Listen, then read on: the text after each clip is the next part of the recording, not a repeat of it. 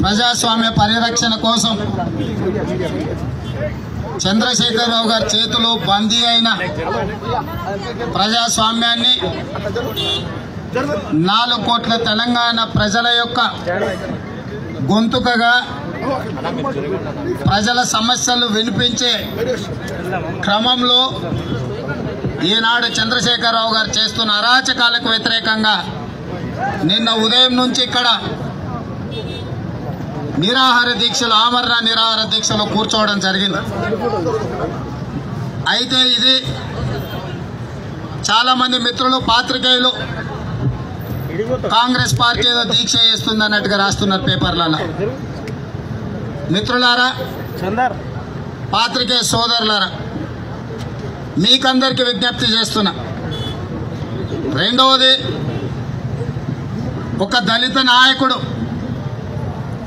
శాసనసభా పక్ష నాయకుడు ఉంటే ముఖ్యమంత్రి గారు చూర్చి ఓర్వలేక ఇలా చేస్తున్నాడని కూడా పత్రికలలో రాస్తున్నారు.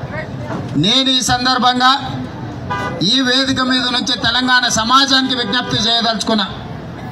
మా మిత్రుడు సోదరుడు బట్టి విక్రమార్క మల్లు దళితుడే కాదు సమర్థుడు. ప్రజల తరఫున ప్రశ్నించే తత్వం ఉన్నవాడు. తెలంగాణ సమాజానికి ఏం అవసరం ఉందో అవగాహన ఉన్నవాడు చైతన్యం ఉన్నవాడు అదిరింపులకో బెదిరింపులకో లొంగేవాడు కాదు. నిటారుగా నిలబడి ప్రజల తరఫున కొట్లాడేవాడని చెప్పి కాంగ్రెస్ పార్టీ రాహుల్ గాంధీ గారు వారిని ప్రధాన ప్రతిపక్ష నాయకుడిని చేసి చట్టసభలకు పంపించడం జరిగింది. వారికి దళితుడనే అర్హత కాదు సమర్థుడనే అర్హతతో ఈరోజు కాంగ్రెస్ పార్టీ ప్రధాన ప్రతిపక్ష నాయకుడిగా వారిని నియమించారు పంతొమ్మిది మంది శాసనసభ్యులకు నాయకుడుగా తెలంగాణ సమాజంలో ఈ రాష్ట్రాన్ని పరిపాలించడానికి ముఖ్యమంత్రి గారు ఎంత అవసరమో ప్రభుత్వం తీసుకుంటున్న నిర్ణయాలలో ఉన్న లోపాలను ఎత్తి చూపి సహేతుకమైన సలహాలు సూచనలు ఇచ్చి ప్రజలకు ఒక మంచి పరిపాలన పారదర్శక పరిపాలన ప్రజారంజకమైన పరిపాలనని ఇవ్వడానికి వారిని ఈరోజు ప్రతిపక్ష నాయకుడిగా కాంగ్రెస్ పార్టీ అక్కడ కూర్చోబెట్టింది. రెండవది ఇవాళ కాంగ్రెస్ పార్టీకి ఏదో హోదా పోయినట్టుగా ఆ హోదా పోతే మా పట్టణాన్ని ఏదో తగ్గించినట్టుగా ఒకవేళ చంద్రశేఖరరావు గారు భ్రమిస్తే అది తాత్కాలికంగా శునకానందం అనడం తప్ప అంతకు మించింది ఇంకేం లేదు.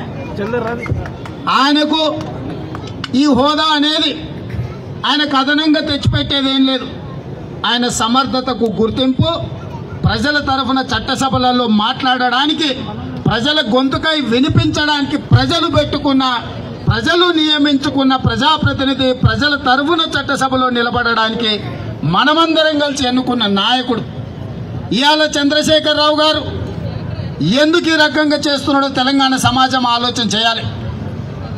పెద్దలు కంచె అయ్యే అయ్యలయ్య గారు వారు చాలా విషయాలు చెప్తారనుకున్నా.